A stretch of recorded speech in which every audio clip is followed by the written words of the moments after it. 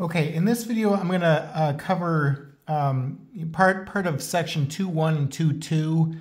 Um, 2.1 and 2.2 are pretty related to each other. And the main thing that we're going to talk about is lines or linear functions.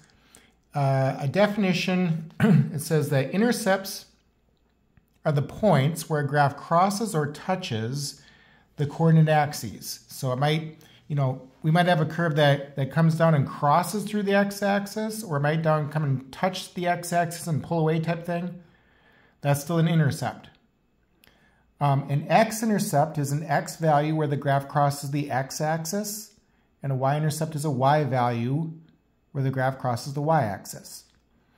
Uh, so let's take a look at uh, this example here. What if we have the curve y equals negative 2x plus 5? Okay, that, that'd be a line.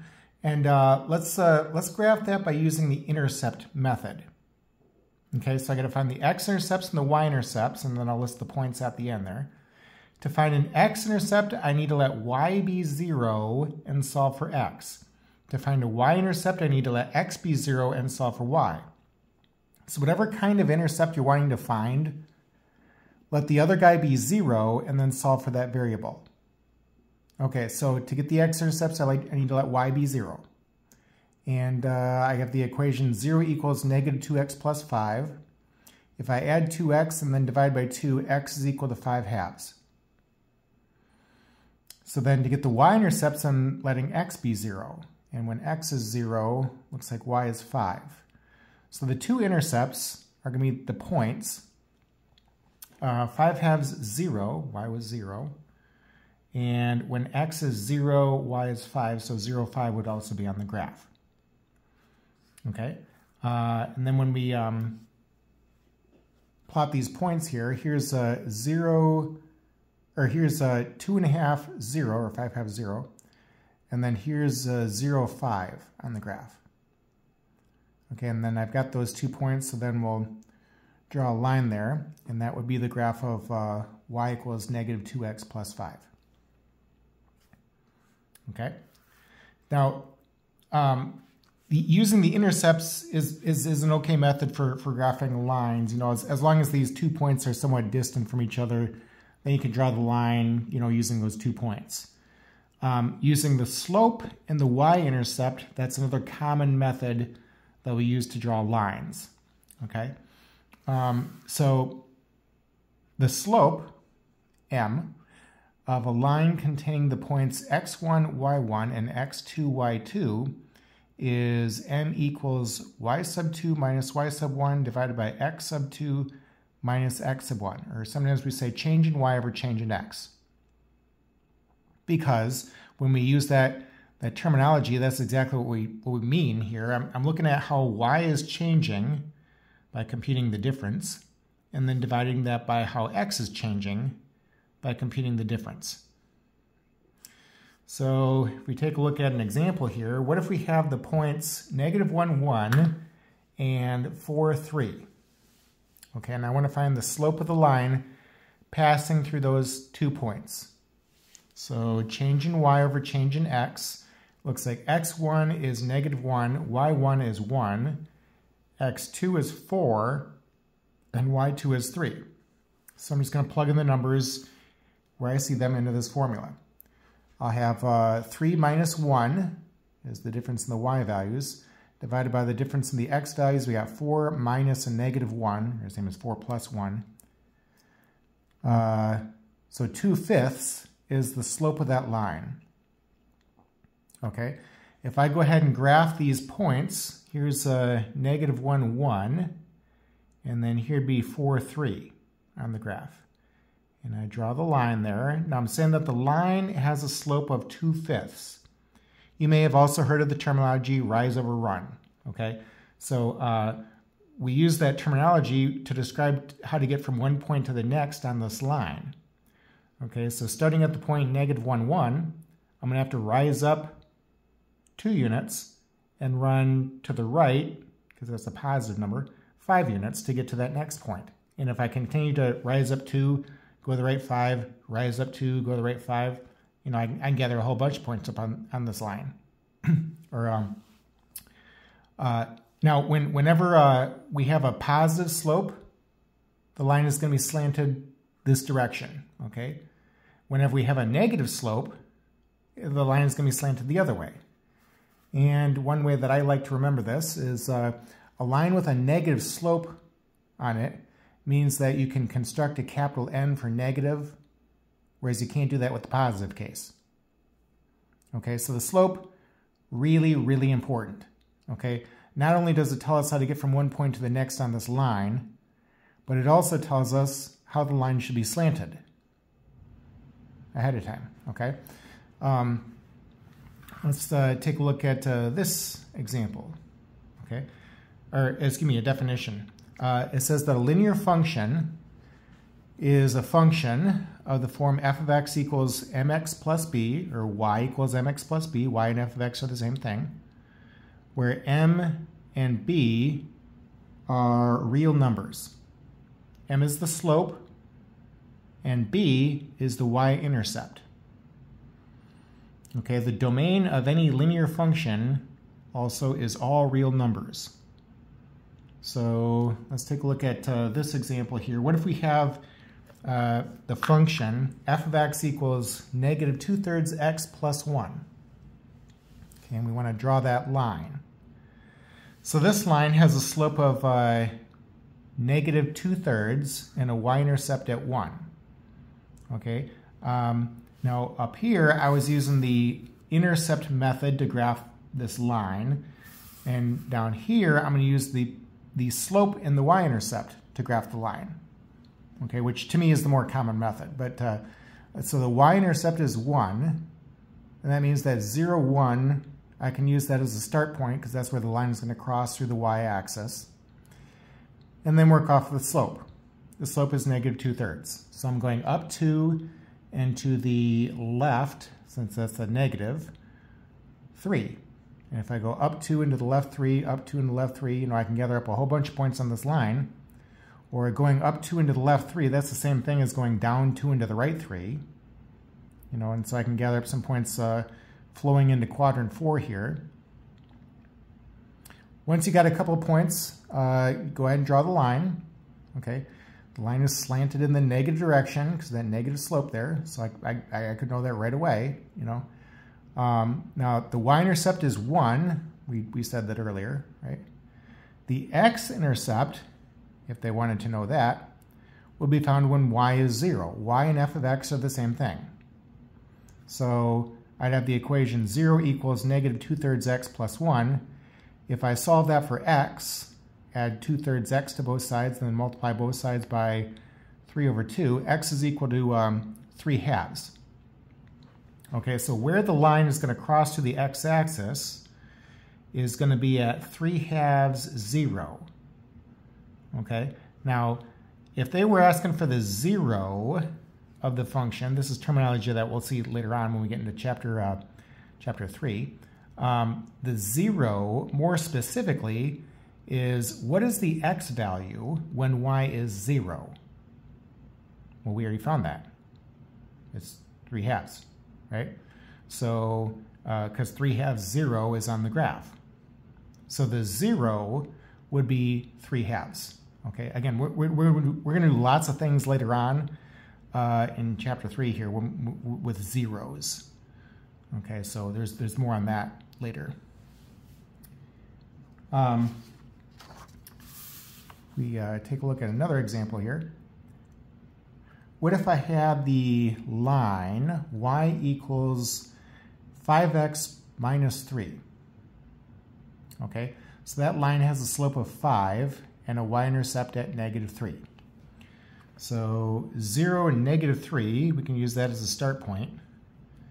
And then uh, work off of the slope. The slope is 5. 5 is the same thing as 5 over 1, right? And so I'm going up 5 and to the right 1. That's a positive slope. So uh, if I go up 5 into the right 1, up 5 into the right 1, and gather up a whole bunch of points on this line, once I have a few points here, I, I go ahead and draw the line okay? And the y-intercept, as we already said, that's negative 3. The x-intercept will be found if y is 0. If y is 0, I would have the equation 0 equals 5 third, uh, 5x minus 3. So then if I add 3 and then divide by 5, the x-intercept would be 3 fifths. Okay, so I'm not asking for that, but if, if I want to know where this line crosses the x-axis, that would happen at 3 fifths 0. So the 0 of this equation would be 3 fifths. A 0 is the same thing as, the, as an x-intercept. Okay, keep, keep that in mind for later on when we do lots and lots of things with zeros. Okay, a, a zero is the same thing as an x-intercept. Uh, here's an example, okay? Um, so in some of these problems, they, they have, uh, you know, story problems where you work with lines. so uh, the cost C to rent a small moving truck and drive it X miles is C of X equals 0.45 uh, times X plus 18.95.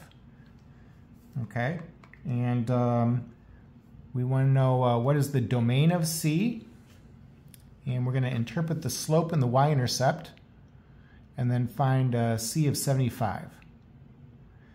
All right, so the domain of C, domain means we're talking about x. What are all the x values? Well, x represents the number of miles that you're going to drive this, this truck. Okay, I know I can't drive negative miles. So x can't be a negative. x has to be either 0 or something bigger than that. Okay, now if I just had the line y equals 0.45 times x plus 18.95, the domain would be all real numbers. But this line is directly related to a story problem. So I'm going to have a restricted domain. Okay, again, x can't be a negative. That doesn't make sense. Uh, so then part B, we want to interpret the slope and the y-intercept. Okay, so the slope of this line is uh, 0.45 the y-intercept is 18.95. What does the slope mean to us in this problem? Well, um, it's going to cost 45 cents uh, per mile that you drive the truck. Okay, so um, that's what I'd say there for, for the slope. Now, now, what they don't mean is they don't mean how I would graph the line. Okay, so they're not they're not saying you're going to go up 0.45 into the right one, up 0.45 into the right one, up 0.45 into the right one, although you would be doing that, you know, if, I, if you were to draw this line here, that, that's not what they're asking for. Okay, so um, how, how does the slope relate to the story problem? Okay, and the y-intercept, how does the y-intercept relate to the story problem? So the y-intercept is 18.95, okay, um, what that means is that there'd be an $18.95 rental fee just to get the first, just to get the truck in the first place. And then once you have the truck, it's going to cost 45 cents per mile. Okay? Um, in part C, um, I'm going to find C of 75. So if I replace x with 75, I got 0.45 times 75 plus 18.95. 0.45 times 75 is 33.75 plus 18.95, I'm getting uh, 52.7. That's a dollar amount, so it'd be $52.70 to rent the truck and then have driven it 75 miles. And that's how, much I'd pay uh, if, if I drove the truck 75 miles. Okay. Um, the next thing is uh, some information about horizontal and vertical lines. So a horizontal line is given by the equation y equals b, or y and f of x are the same thing, right? So I could say f of x equals b, and a horizontal line always has a slope of 0. A vertical line is given by the equation x equals a. a and b are any real numbers. Okay, and a vertical line always has an undefined slope. By the way, wh why didn't I write f of x for a vertical line? Well, vertical lines are not functions, right? If I have a vertical line and I apply the vertical line test, the vertical line being swung across the graph is going to intersect the vertical line that is there infinitely many times. And so vertical lines are not functions. Any other line, not a vertical line, is going to be a function. Okay? Um, so in this first example, I just have two examples of these. Uh, what if we want to graph the line y equals 3? Or f of x equals 3, that's the same thing Okay, y equals 3, I, I can know right away that I'm going to be drawing a horizontal line at a height of 3. Okay, now from what I had written here, horizontal lines always have a slope of 0. Maybe let's see why that is. Okay, so if I set up a, a table and just gather up two points on this line, I need two points to compute a slope.